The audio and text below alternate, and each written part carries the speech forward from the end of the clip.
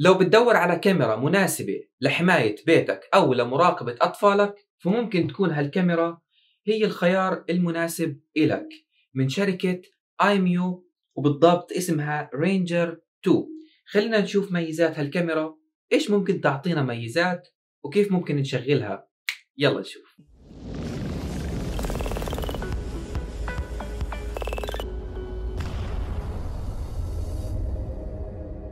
كثير من الناس بيسألوني إيش أفضل كاميرا إني أقدر أراقب فيها أطفالي وأنا برا البيت؟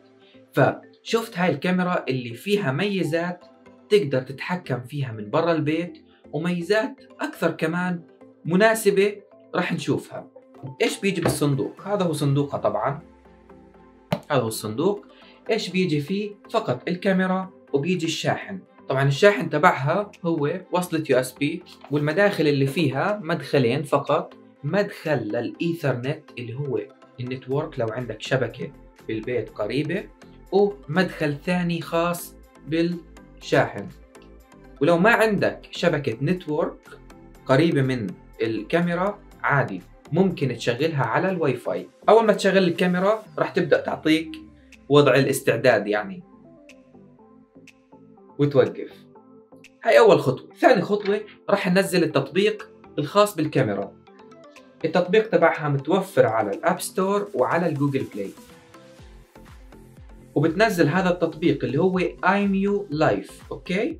راح يطلب منك تسجيل دخول إما عن طريق الفيسبوك أو حساب ال Apple لو تليفونك آه، iPhone أو عن طريق ال Gmail أو أي حساب. فإنت تعمل sign up هون تكتب sign up تبدأ في المعلومات الأساسية بتحط I have read and agree okay؟ بعدين بتحط إيميلك وال password بتعمل دخول.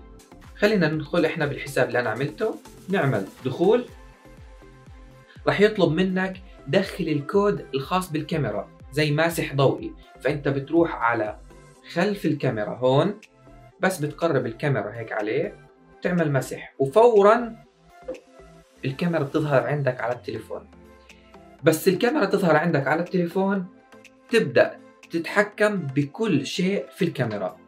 طيب نبدأ بأول ميزة. كيف أتحكم بالكاميرا؟ بنروح على هذا الخيار. وبنتحكم بالكاميرا. شوفوا. شوفوا. فوق. تحت. فهذا الشيء الحلو فيها إنه أنت بتقدر تتبع الطفل أو الشخص عن طريق التطبيق وأنت من برا البيت في شبكة ثانية.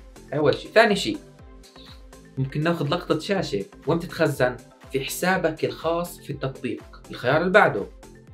ممكن تتكلم وأنت خارج البيت مع الكاميرا عشان يطلع هون الصوت. لو بتلاحظوا هون في سماعة راح تطلع الصوت اللي أنت راح تحكي فيه.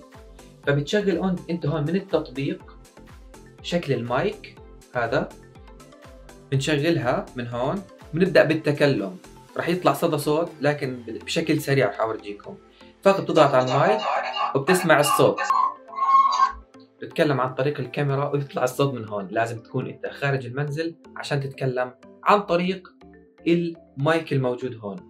وكمان في ميزة مهمة جدا وحبيتها أنا اللي هي تقدر تشبك أكثر من كاميرا على نفس التطبيق وتشوف أكثر من كاميرا وتراقبهم من نفس التطبيق. يعني لو رحنا على موضوع العرض هون شوفوا بتقدر تعرض أكثر من كاميرا. هم تقدر تضيف زائد وتضيف الكاميرات الثانية بنفس الطريقة. سعر الكاميرا وتفاصيلها حطيت لكم إياها بالرابط تحت عشان تشوفوا أكثر عنها. لو حابين تشتروها كمان سعرها أقل من 35 دولار للي بيحب يشتريها. وبس هاي كانت مراجعة لكاميرا Imou Ranger 2 للمراقبة المنزلية أو مراقبة أطفالك لو حابين نستعرض أشياء ثانية حابين نشوفها اكتبوا لنا بالتعليقات. لو عندكم كمان أسئلة وهل الميزات المجانية مناسبة يعني تستاهل إنك تشتريها لمراقبة أطفالك أو لمراقبة البيت. وإيش أنتم بتستخدموا كاميرات في البيت؟ خلينا نشوفها ممكن نرجعها بالمستقبل. يعطيكم العافية لا تنسى اللايك والشير للمقطع. السلام عليكم.